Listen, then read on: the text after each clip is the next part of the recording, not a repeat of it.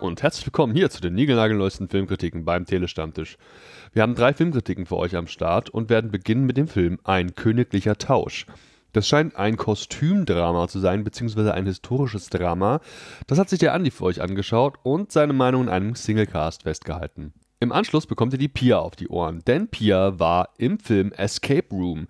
Den hat sie in einer Sneak Peek gesehen. Erzählt uns auch mal kurz, was Sneak Peeks eigentlich sind und warum ihr, wenn ihr eine Sneak Peek im Film gesehen habt, euch auch unbedingt mal bei uns melden solltet. Und auf jeden Fall wird sie euch erzählen, wie ihr Escape Room gefallen hat der ja eben aus dem Horrorgenre kommt. Und das ist definitiv ein Genre, das sie nicht unbedingt mag.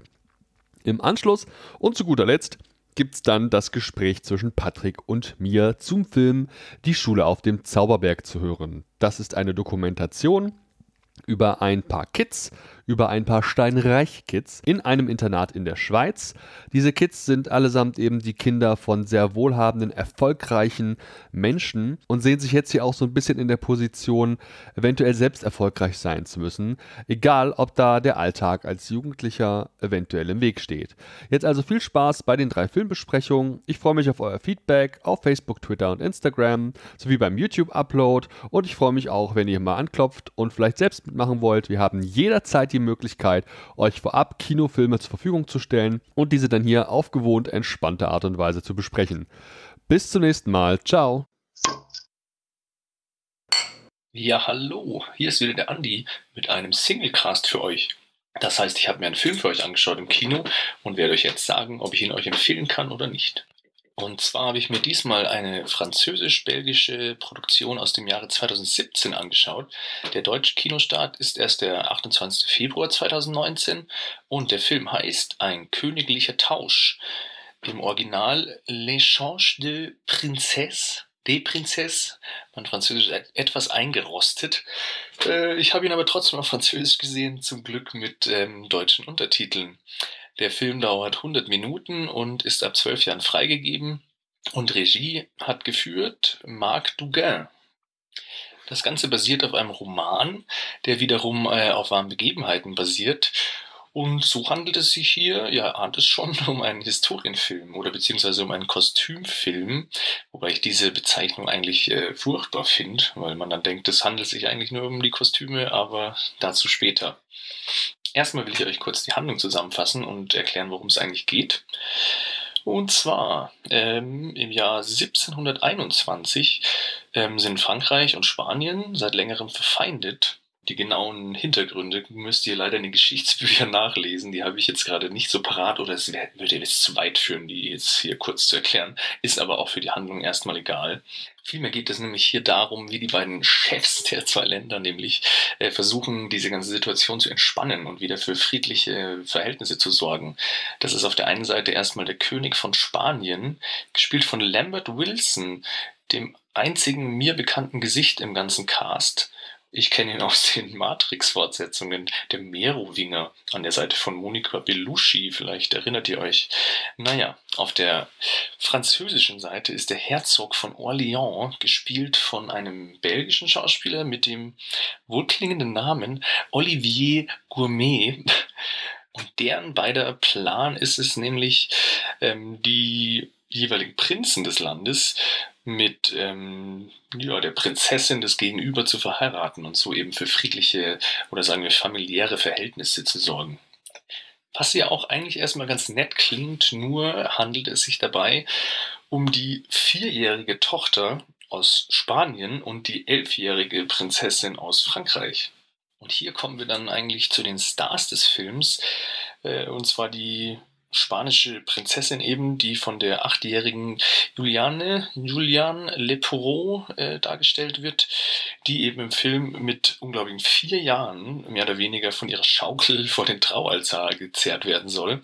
Und auf der anderen Seite eben die französische Prinzessin, schon etwas älter, also im Film soll sie elf sein, äh, in Wirklichkeit glaube ich 17, 18 sowas, die Anna Maria Bartolomei aus Rumänien und ähm, die hat eben überhaupt keine Lust auf Spanien, auf den König, überhaupt auf Prinzessin sein und auf die Jagd nicht, auf die Musik nicht. Und das macht sie dem äh, Prinzen, ihrem zukünftigen Ehemann, äh, unmissverständlich klar. Was witzig ist, dass diese Anna Maria äh, ihr Spielfilmdebüt in einem Film gab, der I'm Not Your Fucking Princess heißt. Äh, ziemlich passend. Ja, und zum Plot war es das auch schon mal soweit. Ähm, von nun an geht es eben um diese beiden zwei frisch vermählten Pärchen, die eben mehr oder weniger gut klarkommen in ihrem neuen Umfeld. Und so haben wir auf der einen Seite die vierjährige Mariana aus Spanien, die jetzt eben in Frankreich ist und in Versailles ähm, noch einigermaßen gut klarkommt und zum Beispiel auch von der Schwiegergroßmutter und so weiter ganz gut behandelt wird, weil sie einfach total niedlich ist und ähm, Stress hat sie eigentlich nur mit den Beratern des Prinzen, die sie immer ähm, ja, ziemlich fertig machen und hänseln, weil sie eben noch so klein ist. Aber abgesehen von ja ziemlichem Heimweh ähm, geht's ihr da eigentlich ganz gut, wie gesagt. Ich glaube auch aufgrund ihrer kindlichen Naivität und so weiter. Also sie mag den Prinzen auch irgendwie und das ist nicht ganz so dramatisch wie auf der anderen Seite. Die spanische Prinzessin am Hof von Spanien ist nämlich völlig auf Konfrontation aus und hat überhaupt keinen Bock auf ihren neuen Gemahl, den ähm, etwas dümmlichen Prinzen von Spanien, Luis, der kann es kaum erwarten, mit ihr in die Kiste zu steigen, um für Thronnachfolge zu sorgen, aber äh, sie lässt ihn komplett abblitzen und er benimmt sich auch einfach sonst nicht sehr prinzessinnenhaft und stellt diesen ganzen Hof ein bisschen auf den Kopf. Das klingt jetzt ein bisschen nach einer Komödie und es gibt sogar Szenen, wo sich dann der ähm, Luis, also der Prinz von Spanien, irgendwie mit einem Ölgemälde von seiner neuen Angetrauten in sein Bett verzieht und sich da einwählen will auf das Ölgemälde, aber daran gehindert wird von einem Priester. Es klingt ziemlich albern und nach Komödie, aber es ist gar nicht. Also es ist wirklich ähm, es entstehen eher witzige Situationen, die aber, ähm, die damals Alltag waren, würde ich jetzt mal sagen. Also es ist keine Komödie, es ist sehr ernst und ähm, realitätsnah inszeniert, aber trotzdem sehr unterhaltsam. Und das fand ich eben ganz toll bei dem Film, weil es geht eben um Themen wie die Teenager-Prinzen, die endlich mal Sex haben wollen oder ähm, weil sie dann eben dafür zu junge Gemahlinnen haben, auch einfach mal untereinander ähm, ja, da zur Tat schreiten. Und wie gesagt, das wirkt witzig, aber ähm, ist einfach total unaufgeregt und ähm, realistisch inszeniert, ja. Denn auch eigentlich gibt es bei der ganzen Geschichte ja überhaupt nichts zu lachen. Immerhin werden diese vier Kinder komplett ihrer Kindheit beraubt, ja, und werden von ihrer Familie getrennt und ähm, nur als politische Spielbälle benutzt, sag ich mal. Und das zeigt der Film sehr schön, wie diese vier verschiedenen Kinder verschieden mit ihrer Situation und mit ihrer Pflicht umgehen, ob sie es komplett ablehnen, ob sie versuchen, ihrem Vater oder ihrem Volk gerecht zu werden, ob sie grandios scheitern oder ob sie einfach viel zu jung dafür sind und äh, gar nicht wissen, was da passiert. Und dass das alles so gut funktioniert, liegt auf jeden Fall ähm, zum Großteil an diesen wunderbaren Schauspielern. Also die äh, Kinderdarsteller, weil es ja oft oder schnell mal in die Hose gehen kann, sind hier wirklich total super. Da kann man nichts sagen. Und auch der restliche Cast ist einfach wunderbar. Also von dem Prinzen von Spanien über die Berater des Prinzen und auch die Großmutter und die Gouvernante sind einfach sehr ähm, authentisch. Also ähm, der König von Spanien hat teilweise ziemliche cholerische Ausraster. Der Prinz von Spanien wirkt teilweise ein bisschen wie aus einer Komödie, weil er doch sehr dümmlich ist. Und auch die ähm, Aktionen der französischen Prinzessin an dem Hof sind teilweise doch ein bisschen krass. Aber wenn man sich ein bisschen mal hier auf Wikipedia oder so zu der Geschichte umschaut, ist das alles im keinster Weise übertrieben, sondern ehrlich noch ein bisschen untertrieben. Die hatten da schon alle einen ziemlichen an der Waffel. Und was ja auch keinen verwundert, wenn man sich die Umstände anschaut.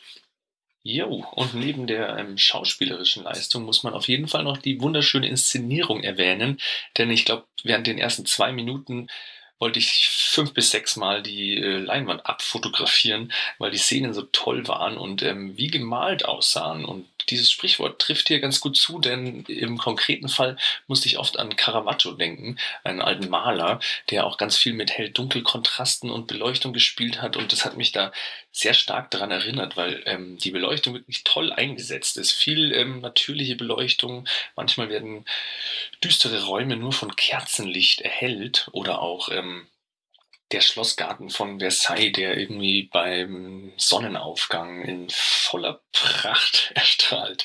Die Schauplätze sind auch der Hammer. Also es sind, denke ich mal, alles Originalschauplätze oder ähm, ich denke zumindest, sie haben diese Schlösser und Schlossgärten und so jetzt nicht als Set gebaut. Was sie aber gebaut bzw. geschneidert haben, sind dann eben doch diese Kostüme. Um nochmal auf den Kostümfilm zu sprechen zu kommen.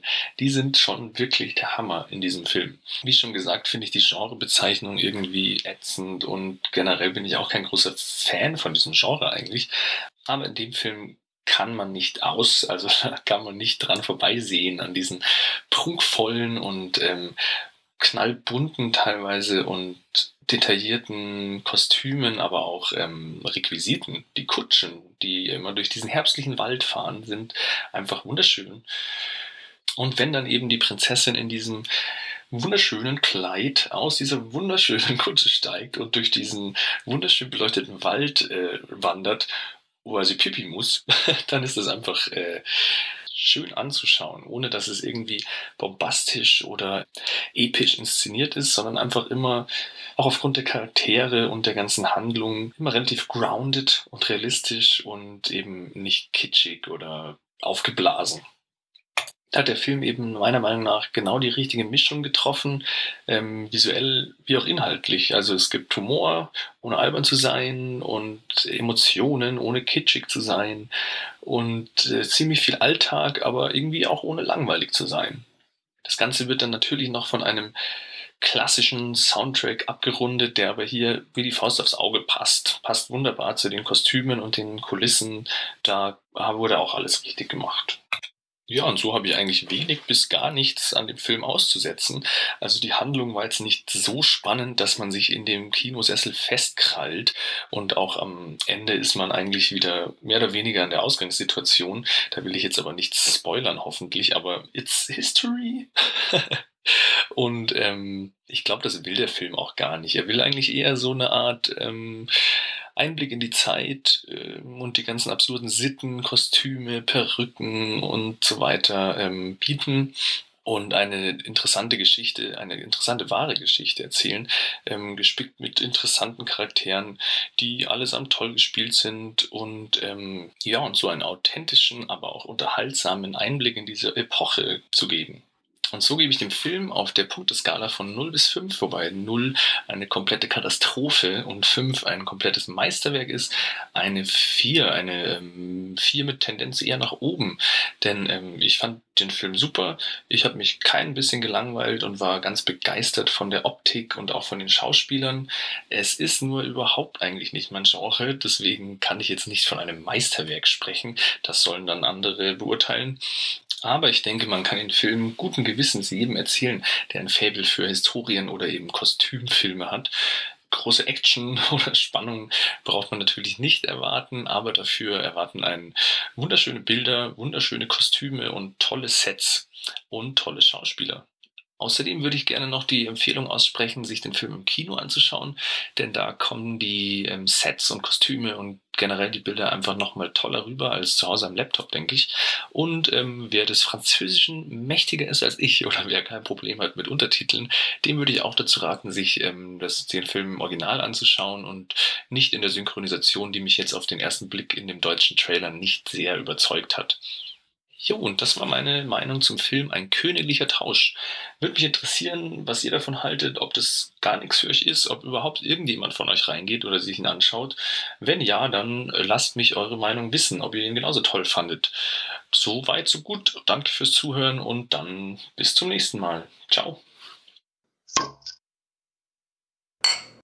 Hallo ihr hübschen Filmnasen. Jetzt geht es um den Film Escape Room, der am 28. Februar 2019 in den deutschen Kinos startet. Die Altersfreigabe ist ab 16 Jahren und die Laufzeit beträgt hier 100 Minuten. Und es ist natürlich ein Horrorfilm. Einigen ist wahrscheinlich auch der Trailer schon bekannt. Ähm, ja, kurz vorab, bevor ich was zu dem Film erzähle, möchte ich euch kurz erklären, wie ich zu dem Film gekommen bin. Und zwar hätte ich jetzt, wenn mir das vorgeschlagen worden wäre, wäre ich nicht in eine Pressevorführung gegangen, weil Horrorfilme, also ich gucke allgemein keine Horrorfilme. Entweder finde ich sie langweilig oder ich muss lachen oder ich finde sie tatsächlich so gut und so gruselig gemacht, dass mich das total verstört und ich völlig fertig bin nach dem Film. Deshalb sind eigentlich Horrorfilme nichts für mich. Ähm, aber ich war bei einer Sneak Preview. Bei uns im Kino gibt es immer einmal in der Woche eine Überraschungspremiere, eine Sneak Preview. Das haben eigentlich ziemlich viele Kinos in Deutschland. Du setzt dich halt hin und du weißt gar nicht, was für einen Film du kriegst. Du zahlst recht günstigen Eintritt, meistens so sieben bis acht Euro oder sogar weniger. Und dann weißt du gar nicht, was du bekommst und wirst sozusagen überrascht. Und ähm, manchmal ist das so, dass dann auch Leute dann nach 10 oder 20 Minuten auch rausgehen, weil es dann manchmal ein Film ist, der überhaupt nichts für sie ist. Und manchmal bleiben die Leute dann natürlich auch sitzen und gucken sich den Film an. Und ich muss sagen, ähm, äh, bevor ich was zum Film sage, also es sind alle sitzen geblieben, alle haben sich den Film durch, also von Anfang bis Ende durchgeguckt ange angeschaut, genauer gesagt. Und ähm, ja, ähm, erstmal zu den Darstellern. Wir haben hier Logan Miller, Jay Ellis, Nick äh, Dodani, Tyler Labine und Taylor, Taylor Russell. Die Taylor Russell ist bekannt aus der aktuellen äh, TV-Serie Lost in Space, falls die jemand kennt. Das ist so eine Science-Fiction-Serie. Und dann haben wir Deborah Ann Wall. Die Deborah Ann Wall ist die rothaarige, die einigen bekannt ist aus äh, The Punisher, aus Daredevil und aus True Blood.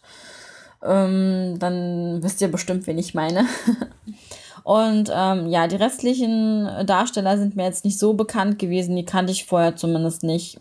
Waren mir jetzt vom Gesicht her auch äh, nicht bekannt. Ähm, aber es war auf jeden Fall interessant anzuschauen, was die Darsteller so bieten. Also die haben gut geschauspielert, die haben das gut gemacht. Die Regie hat hier wohl auch ganz gute Arbeit geleistet, die übrigens von Adam Robitel ist. Ähm, der hat zuvor Kurzfilme zu Insidious gedreht. Sonst hat er keine großen nennenswerte Filme gedreht. Und äh, ja, jetzt möchte ich gerne erst einmal was zu dem Thema sagen. Escape Room. Escape Rooms sind euch bestimmt bekannt. Äh, es ist gerade ganz im Trend, dass halt auch hier in Deutschland und in Amerika, dass dann halt so eine Art Räume ähm, erstellt werden, eingerichtet werden und da muss man sich mittels Rätsel oder ähm, Mechaniken aus diesem Raum sozusagen rausrätseln. Ja, und dafür bezahlt man Geld und dann ist man meistens so maximal eine Stunde drin. Und das ist gerade sehr im Trend. Und in diesem Film geht es halt darum, dass ähm, sechs, sechs fremde Menschen ähm, durch, ein, durch einen mysteriösen schwarzen Würfel eingeladen worden sind. Also sie mussten erstmal diesen Würfel lösen und öffnen und das wurde ihnen dann von einer anonymen Person zugeschickt. Mm, oder nee, gar nicht wahr. Das wurde von Freunden zugeschickt. Also es sah auf jeden Fall so aus, als ob das von Freunden wäre. War natürlich nicht so. Und die wurden dann eingeladen, um diesen Escape Room sozusagen beizuwohnen und mitzumachen. Und äh, als Preisgeld, als Preisgeld ähm, sollten dann 10.000 äh, Dollar oder 10.000 Pfund, ich weiß es jetzt gerade nicht genau, sollten dann äh, dem Gewinner sozusagen zustehen. Und ja, und dann haben sie natürlich auch zugesagt. Es sind halt äh, sechs verschiedene Charaktere, die von sich auch aus Grund verschieden sind. Ich kann das einmal kurz erklären. Und zwar haben wir einmal Zoe. Zoe ist eine Studentin, die zum Beispiel in Physik und Mathematik vollkommen aufgeht und auch eine Leidenschaft darin sieht. Sie ist eine richtige Streberin, aber macht das auch leidenschaftlich gerne und sie hat wirklich Ahnung von der Materie. Dann haben wir den Ben. Den Ben, der hat es nicht wirklich weit gebracht in seinem Leben. Der tuckert von einem Aushilfsjob zum nächsten und hat wohl auch ein kleines Alkoholproblem und sieht sich wohl selbst auch so ein bisschen als Versager. Dann haben wir den Jason. Der Jason, der ist beruflich absolut erfolgreich, ein absoluter Schönling und er betont in diesem Film jedes Mal, wie sexuell aktiv er ist. Worüber ich ständig schmunzeln musste. Also diese Sprüche waren einfach, ja, Ähm, dazu später mehr. Ähm, dann gibt es den Mike. Von Mike wissen wir irgendwie am wenigsten. Ich habe das Gefühl, die Szenen zu Mike oder die Hintergrundinformationen zu Mike wurden größtenteils rausgeschnitten, weil es vielleicht zu viel gewesen wäre. Und dann ähm, haben wir Danny. Danny ist der typische Vorzeigenerd und Gamer, der schon erzählt, dass er schon über 100 solcher Escape Rooms durchgespielt hat und absolut jede Regel zu kennen scheint. Und dann haben wir natürlich die rothaarige Schönheit Amanda, äh, die von Deborah Ann Wall gespielt wird, die ich schon erwähnt hatte, die aus True Blood und Punisher und so weiter. da war ich natürlich sehr erfreut, weil ich mag sie sehr gerne sehen, die Schauspielerin. Und ähm, ja, die Amanda, die ist eine knallharte Veteranin, die äh, ja, aber mit einer posttraumatischen Belastungsstörung sozusagen zu leben scheint. Und ähm, sie hatte da in der Vergangenheit in der Armee ähm, einen Unfall gehabt und, und eine Verletzung aber so viel will ich auch nicht verraten für die Leute, die den Film noch im Kino sehen wollen. Ja, und diesen, diese sechs fremden Leute werden dann direkt äh, zusammengefercht in einen Raum und sie denken halt, sie sitzen da und warten, ähm, bis dann der Game Master kommt. Stattdessen geht's da direkt los. Also sie sind im Wartezimmer und es geht direkt los und sie müssen schon die ersten Rätsel lösen und äh, das äh, Action-Spektakel fängt schon an. Und äh, ja, ähm, ich muss dazu sagen, ich wollte ursprünglich diesen Film ja nicht sehen. Selbst wenn ich eingeladen worden wäre, hätte ich den Film nicht sehen wollen. Aber ich muss sagen, ich fand ihn ganz interessant. Also ich fand es interessant zu sehen, wie diese Räume eingerichtet sind, ähm, was der Game Master sich ausgedacht hat, ähm, weil mich generell Escape Rooms schon soweit auch interessieren. Mm, und äh, ich, ich fand auch, dass äh, es einige Spannungsmomente gibt. Natürlich äh, wusste ich, dass ich in einem Horror-Survival-Szenario sitze, ähm, à la Saw oder andere Filme, wo es darum geht, dass Leute zusammen eingefärcht sind und natürlich ähm, versuchen zu fliehen. Und da fragt man sich natürlich immer, wer stirbt jetzt und wer überlebt, weil du weißt ganz genau, dass nicht alle überleben werden. Das weißt du von vornherein.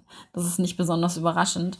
Und äh, der Unterschied äh, zu diesem Film ist allerdings, dass die halt zuerst gar nicht wissen, dass sie sich tatsächlich hier in einem, äh, in einem echten lebensgefährlichen Szenario befinden. Sie denken zuerst, das ist ein ganz normales Spiel, äh, da wo es ein ganz tolles Preisgeld gibt und äh, ja, und, und die machen sich zuerst keine Gedanken, sind super entspannt und später, wo sie dann auf einmal merken, dass es dann so richtig äh, die Post abgeht und es um Feuer und Eis und um ja, also um richtige Gefahren geht, dann ist natürlich die Panik groß geschrieben und ähm, ja, und äh, es, es wird auch ein bisschen spannend. Wie gesagt, man weiß halt eben nicht, wer da den Löffel abgibt und man weiß auch nicht, wie jeweils die Leute den Löffel abgeben und wer dann halt überlebt. Ne? Also ich war tatsächlich schon überrascht zum Schluss, wer denn auch überlebt hat und ähm, nach diesem Escape Room, also nachdem diese Szenarien zu Ende waren,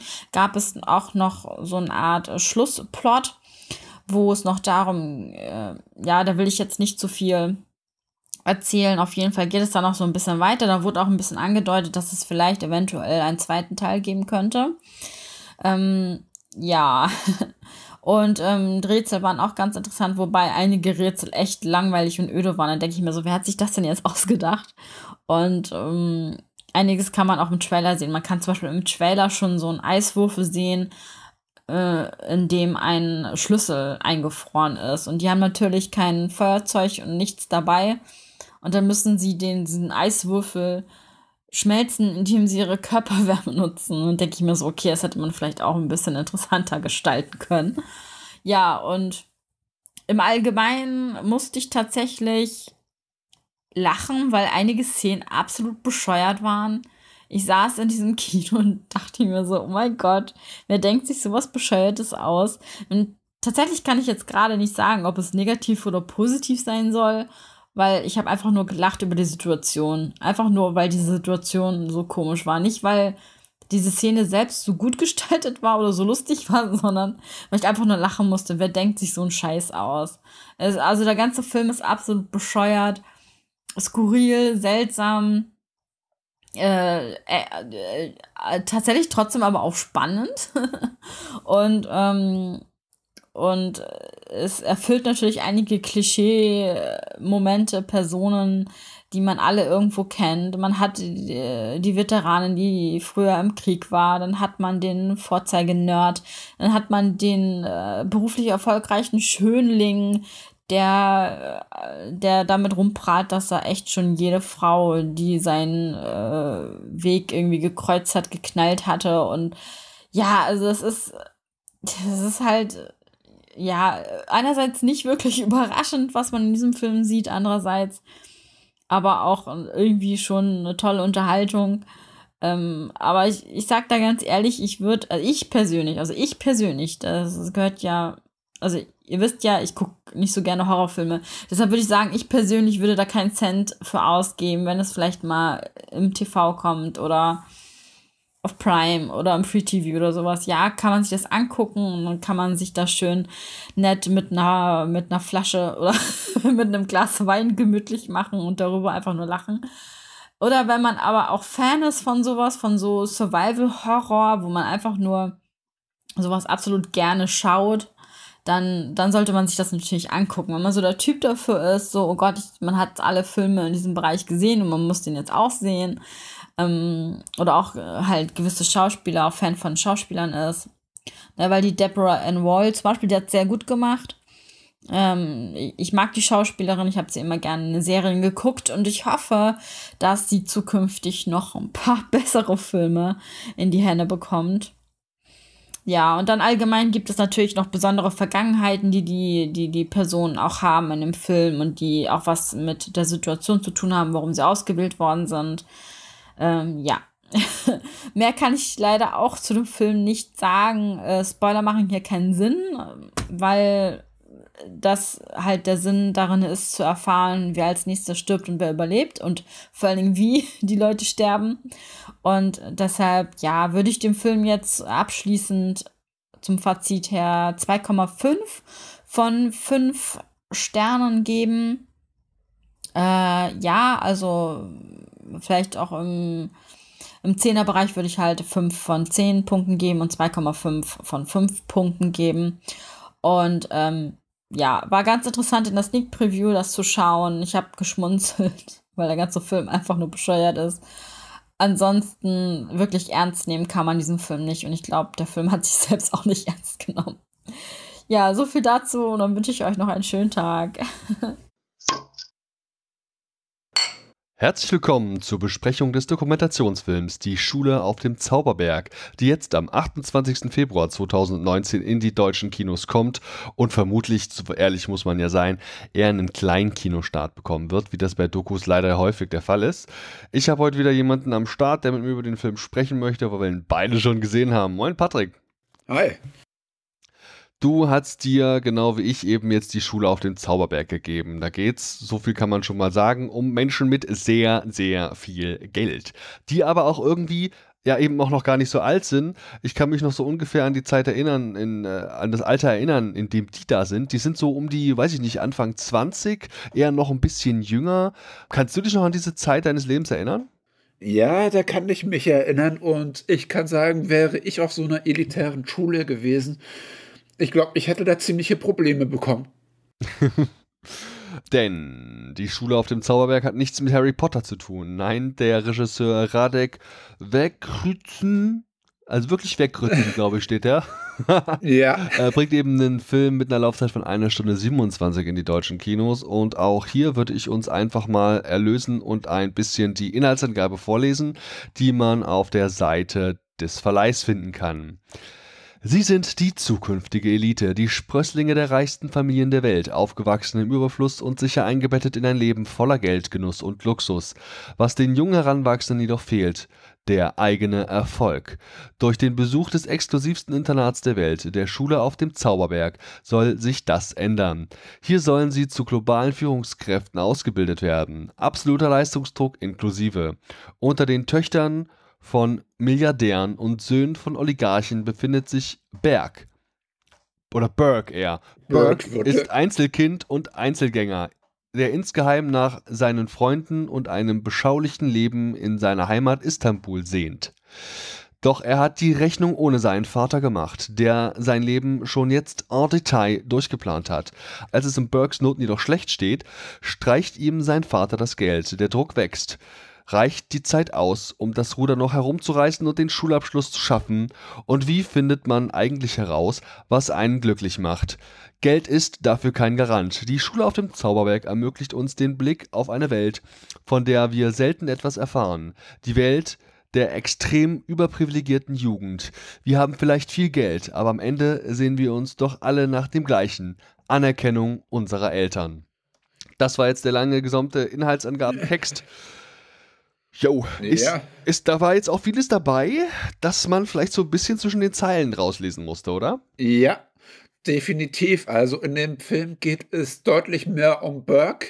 Also du hast am Anfang diese kurze, knappe Einführung, wo dann irgendjemand wie bei Club der Toten Dichter quasi so diese Schulregeln vorliest. Man darf keine Drogen nehmen, man darf keinen Kontakt mit dem anderen Geschlecht halten, beziehungsweise keine Beziehung. Und kurz danach siehst du eben Burke direkt mit einer Wasserpfeife und dann hast du schon direkt das Gefühl, oh oh, der Junge wird Stress kriegen. Mhm. Und ich würde sagen, dadurch, dass sie sich ziemlich an Burke heranhangeln, schaffen die das auch weitestgehend eine kritische Herangehensweise an diese Schule zu vermeiden, weil sie den dadurch oft als Loser auch inszenieren. Ja, er ist so ein bisschen der ja wirklich Underdog. Alle um ihn herum scheinen total die, ich will sag mal, Streber zu sein. Alles junge Menschen, die wissen, dass sie unbedingt hier was lernen müssen und einen krassen Abschluss Ja. brauchen. Und das ist ja generell auch eine interessante, interessante Schule. Ich glaube, die steht in der Schweiz auf irgendeinem so einem Berg. Da kommt man auch nicht einfach so hin und zahlt vermutlich auch horrende Studiengebühren. Und was mir Ja. besonders auffiel, wenn man sich mal anschaut, was die so für Unterricht hatten, äh, das wirkte alles ja mehr wie so Seminare, auf denen man irgendwelche betriebswirtschaftlichen Themen beackert. Genau. Und egal was, um was es ging, es ging immer darum, das Ganze wie ein Business zu sehen und wie ein Business zu betreiben. Das fand ich echt irgendwie auch ein Stück weit negativ beeindruckend. Ging dir das auch so? Ja, vor allem, ihr, ja, ihr seid für den Ruf eurer Eltern verantwortlich. Das wurde ja auch dauernd angehämmert. Ihr, ihr verarbeitet das Geld eurer Eltern und dann siehst du knapp 20 Minuten später, wie sie dann auf einmal anfangen, Schokoladentafeln für 400 Euro oder so zu versteigern, wo du dann denkst, ja, okay, die sind dann doch ziemlich auf aus das Geld der Eltern Mhm. sind dann aber doch irgendwie scheinheilig. Oder ich nenne jetzt auch mal das Beispiel mit der Lehrerin oder Sekretärin, die dann mal durch die Schulräume gegangen ist. Sie wollte einfach keinen Ton hören und hat dann gemeint, ja, wird jetzt ein Amokläufer kommen, werdet ihr tot, weil sie einfach so eine Totenstelle quasi in diesem Gebäude haben wollte. Wo du dann denkst, ja, okay, richtig seltsame Schule. War das nicht sogar ein Test? War das nicht wirklich Ja, so ein Terrortest? Was wäre, wenn? Da gab es einen Sound und alle mussten mucksmäuschen still sein? ja, das war so. Und bang, du bist tot quasi. Was? Ich hatte, wir hatten sowas nicht, aber ist wahrscheinlich auch schon ein bisschen her, dass ich zur Schule gegangen bin. Also es ist aber ganz interessant, was du sagst. Gerade diese Szene, dieses, die ersteigern wohl irgendwas. In dem Fall war es eben anscheinend unter anderem eine Tafel Schokolade für einen gewissen guten Zweck, glaube ich, war das sogar. Ja. Ich weiß nicht mal mehr welchen. Und ähm, das ist natürlich wirklich sehr absurd, wenn wir da manchmal so Monologe haben, ja, Geld ist nicht alles, Gefühle, Freunde, Familie, hast du nicht gesehen, zählt auch was. Und dann geben sie eben diesen Betrag X für Schokolade aus. Also es ist sehr interessant für jemanden von wie mich, der da definitiv außenstehend ist, das mal so zu sehen. Definitiv. Aber diese Einblicke, wovon du gerne mehr gehabt hättest, das war wirklich ein bisschen selten gehalten, weil überwiegend hast du dich dran gehangelt, so von wegen, oh, Burke weiß nichts mit seinem Leben anzufangen, deswegen wird er dann in so eine Musical-Gruppe gestellt, wo er dann einer, einem Mädchen näher kommt, was dann auch irgendwie negativ rüberkam, wo er dann auch, ja, geierst du jetzt einer hinterher, wo du eh keine Chancen hast und so quasi so aufgenommen wurde. Wie an jeder guten Highschool oder an jeder guten mittel- und höheren Schule. Also das ist ja alles irgendwie dasselbe. Ja. Es ist interessant, dass die Leute in dem Alter, egal welches Einkommen die Eltern haben, dann doch irgendwie dieselben Themen umtreibt, oder? Ja, Ja, also ich fand an dem Film einiges gut. Ich muss sagen, der Burke ist irgendwie auch also der wächst einem so ein bisschen ans Herz. Das finde ich mal Irgendwie ganz positiv schon. zu erwähnen. Denn die schaffen es definitiv, eben ihn jetzt nicht nur als den Dummkopf darzustellen oder als den Faulen, was ähm, in beiden Fällen auch eher, finde ich, für eine gewisse Sympathie sorgen würde. Es ist Ja. halt so, dass du den auch siehst, wie er halt sich um seine Freunde kümmert. Einer davon ist querschnittsgelähmt und dann trägt er den halt eben auch rum. Ja. Die gehen auch mal feiern auf dem Boot oder machen sonst was für Action, dann trägt er den halt von A nach B. Und ähm, da macht, das macht ihn einfach sehr sympathisch. Deswegen höre ich den auch ein Stück weit gern zu. So viel lässt sich schon sagen. Er geht durch eine gewisse Katharsis in dem Film, hat natürlich auch mal schlechte Noten und ich hatte ja schon gemeint, der Vater tritt den Geldhahn zu und so und dann muss er nochmal über sich und sein Leben nachdenken und findet da, so viel kann man vielleicht erahnen, auch eine Art von Lösung dann letztlich. Ob das jetzt alles so glaubhaft ist auf den paar Minuten, die der Film dann auch handelt, okay, darüber kann man sich streiten, aber es ist ja jetzt ja keine Handlung in dem klassischen Sinne, sondern eben eine. Doku. Ich kann mir nicht vorstellen, dass man dem großartig was in den Mund gelegt hat. Nee, ich denke halt einfach, dass man das so ein bisschen in dieses Club der toten Dichter-Korsett gezwängt hat, damit man das als angenehm locker flockige Mockumentary quasi auch so ein bisschen verkaufen kann, weil der Film hat sich gut weggeguckt. Für das Thema habe ich keine großartige Langeweile gehabt, also und ja, der Burke wurde wirklich sympathisch. Er war halt so ein bisschen orientierungslos. Später kriegt er noch so ein bisschen die Orientierung, aber das mit seinem Vater fand ich dann eben schon ziemlich heftig, wo er dann sagt, ja, mehr als Geld kann ich dir nicht an Zuneigung geben. Da dachte ich auch, oh, okay, kein Wunder, dass er so ist. Herzlichen Glückwunsch. Herzlichen Glückwunsch. Ja. Also, wenn, wenn, ich meine, da, da waren ja auch, wir haben vor kurzem hier eine Doku besprochen, Generation Wealth, wo wir auch über Leute gesprochen haben, wo es am Geld nicht mangelt und Geld letztlich der einzige Lebenszweck ist. Wenn du dann Kinder hast, leiden die unter Umständen darunter, falls sie das nicht auch so sehen. Denn Kinder haben gewisse Bedürfnisse, die man nicht alle mit Geld kaufen kann. Aber das äh, muss jeder mit sich selbst ausmachen und klingt jetzt hier auch ganz schön aufklärerisch und ethisch, moralisch korrekt. Ich habe jetzt vor kurzem auch bei diesem Lotto-Dings mitgemacht, hier beim Euro-Jackpot. Und ich sag mal so, ich hätte die 63 Millionen auch gern genommen. Natürlich. Natürlich. Alle haben natürlich Top-Markenklamotten an, haben natürlich die neuesten Laptops und äh, dafür fand ich das schon wieder interessant, dafür, dass es eigentlich so eine, wirklich, ich sag mal, jetzt mal, mal auch Begriffe zu benutzen, die da draußen ankommen, dafür, dass es so eine Bonzenschule ist, ist die dann doch sehr, sehr üblich eingerichtet, ne? Also diese, Ja. diese Unterbringung im Internat, sie haben, das ist jetzt nichts, was, also das sieht jetzt nicht sonderlich nobel aus. Die Kantine, das sind auch ganz normale Holzstühle, wie wir die aus Schulen anderswo auch kennen. Ähm, das wirkt jetzt nicht wie ein besonders luxuriöses Essen, das die bekommen würden oder so. Auch die Lehrer, das scheinen einfach mal so ganz normale Menschen zu sein, die halt einen Job machen mit Kindern, die halt einfach ein bisschen privilegierter sind.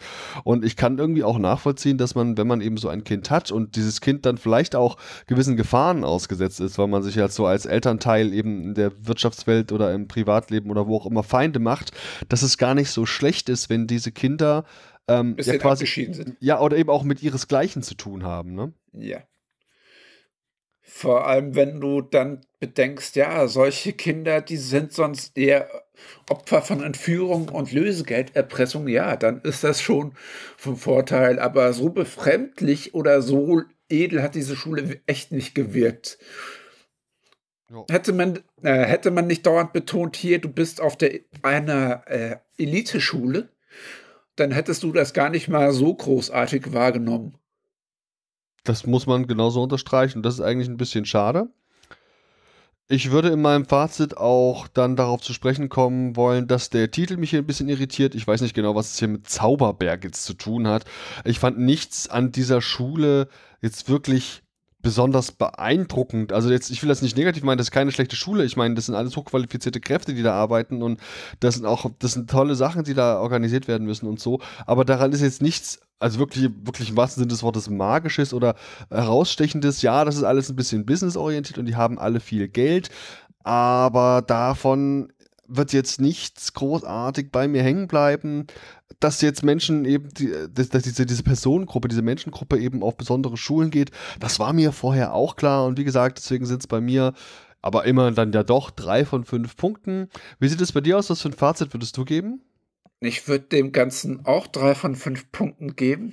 Ich habe diese Schule auch nicht so magisch gefunden, außer dass die unter ihresgleichen sind. Ich habe auf der Berufsschule im Verkauf auch nicht großartig was anderes gelernt als die. Also sogar das die, sogar die Unterrichtsthemen waren mir ziemlich vertraut. Weil ich habe Verkauf gelernt, genau dasselbe habe ich auch gelernt. Mhm. Also noch nicht mal da haben die sich großartig unterschieden. Okay. Wem würdest du den Film vielleicht empfehlen? Äh, Leute, die solche Mockumentaries mögen, weil da guckt sich das dann wirklich gut weg. Und Leute, die auf so eine Club der Toten Dichter mäßigen Story Bock haben. Oder eben auch Leute, die generell mal so einen kleinen Einblick, und wir haben das ja jetzt mehrfach betont, du kriegst wirklich nur einen sehr kleinen Einblick über diese Elite-Schule. Was auch daran liegt, dass nicht jeder Schüler gezeigt werden wollte. Da gibt es dann so Masken auf den Gesichtern und so, yeah. weil natürlich eine gewisse Anonymisierung auch stattgefunden hat, was ich nachvollziehen kann, dass du vielleicht gar dieser, nicht. Ja. Dieser sogenannte Blur-Effekt quasi. Genau. Super. Alles klar, dann haben wir doch, glaube ich, jetzt hier schon eine ganze Menge Sachen besprochen. Schaut euch den Film an, wenn das was ist, was ihr noch gar nicht kanntet, worauf ihr vielleicht mal einfach ein bisschen Bock habt und euch mal so einen Eindruck davon zu machen, wie Leute leben können, die ja vielleicht ein bisschen mehr Geld verdienen, als wir das bekommen oder zumindest mehr Geld bekommen als wir. Ob sie es verdienen, kann ich nicht beurteilen. Ich danke dir vielmals für deine Zeit, Patrick, und freue mich schon auf das nächste Mal. Dito, bis dann. Bis dann, ciao. Ciao.